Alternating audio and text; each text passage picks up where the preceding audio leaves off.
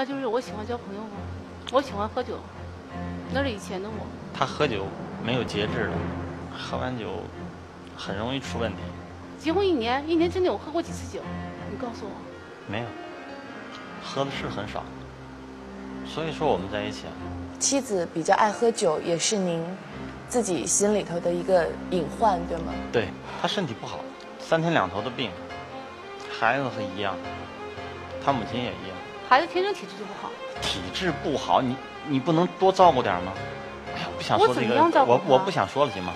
你说我们这一年开心的时候多呢，还是不开心的时候多呢？你能说一下吗？各半，我只能这么说。那黄先生，您觉得是开心的时候多，还是不开心的时候多？像我们结婚了一年，我们真正在一起的话，也就是三个月，剩下的九个月我们都不在一起。其实我觉得在不在一起跟开心不开心没有关系。对。但是问题是，结婚一个一年了，我们光说离婚说几次？我说过几次？你说过一次，我说过一次，包括上过春节之前孩子的事情，我们闹过一次。你觉得好像事情过去就过去了？你有没有想过我心里怎么想？我觉得我对孩子挺不错的，结果在你眼里我就是一个恶的继母。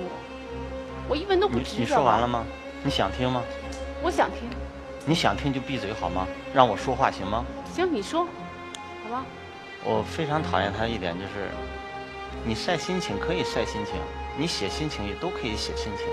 为什么你所有的心情都是你不高兴的心情？你难道你没有一次好心情吗？就像他说的，各半儿好吧，各半儿那你那那一半呢？就没有那一半吗？你说的这是这是几年前的我，现在看过我的 QQ 吗？你看过我的微微信吗？你没有看过，你怎么知道？因为我已经看不了那些东西。对呀，看那些东西会生气的。你把十年前跟现在十年我一样吗？告诉我。你能把最近的微博让大家看一下吗？可以啊，你可以去看啊。我现在手机打开微信，你就可以看我现在微信下载是什么。大概是什么内容？您方便跟大家说一说吗？里面有笑话。原来我们曾经买过一本书，叫《不抱怨的世界》。我里边我还写了一篇不抱怨的东西，还有一篇宽容的，我还转了别人的几篇文章。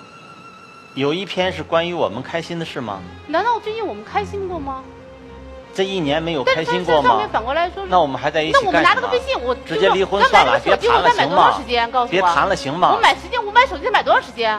你圆吧。你见我什么时候买？你圆吧。那你要这样说，我我们还说什么呀？不说了吗？那就不说了，散了吧。散了吧。没想到两人一言不合就说散了吧，在录制现场都是这样的态度，那在日常生活中，两人的相处方式可见一斑。虽然彼此都说爱着对方，可是又都往对方心坎里去扎刺。为了让两人都冷静下来，我们决定对他们进行单独的密室调解，希望还能挽回这段婚姻。你的目的是什么？目的是一起一起过还是不一起过？如果说你的目的是要一起过的话。你听我们大家的。如果说你的目的就想把这个事情讲清楚，讲清楚完了以后痛快了，不一起过了，我们听你讲。我不是不是这个意思。如果说你的目的，可是每次为什么每次事情他，那就是说事情他每次都质问我呢？那我现在是我们现在是我们跟你聊，不是对，不是他跟你聊，对吗？其实我很想知道，你听我讲，他现在的他，你看，跟在家里他完全是两个样子。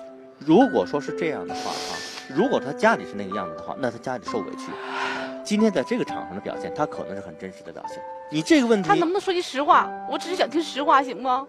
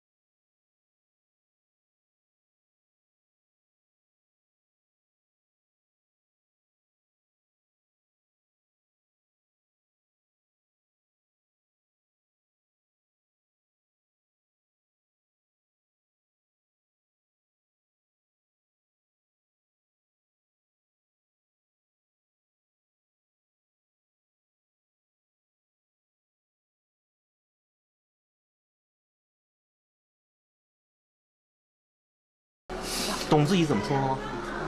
啊。